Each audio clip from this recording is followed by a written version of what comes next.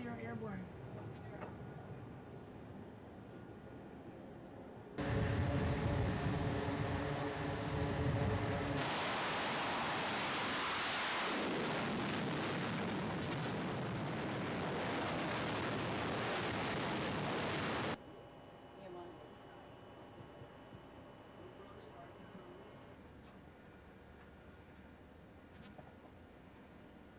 Four six Airborne.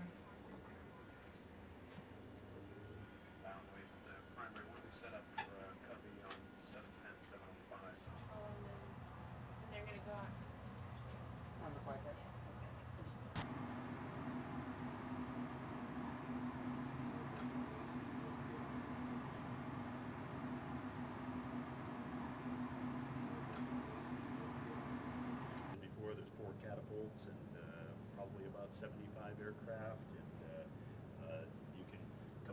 We've invited Venezuela to participate with us, and, uh, and they are one of the many countries down here that we would love to have come out and join us. And uh, uh, the last that I had heard was they had not yet responded with a yes or a no. Uh, we're hoping that they will, but uh, again, we're not here to focus on any single country, uh, be it Venezuela or any others. We're here to promote peace and stability in this region of the world and, and to hopefully, as I said, build stronger friendships with our allies